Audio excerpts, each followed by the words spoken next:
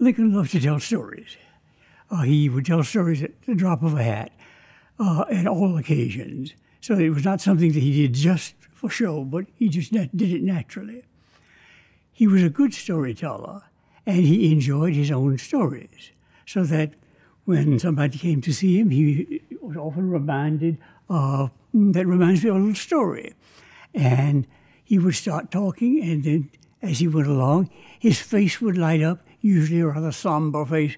His face would light up, and he showed that remarkable set of white teeth and a huge smile and tell the story. And when he got to the punchline, he would often slap his thigh like that, and, and that's the way it ended.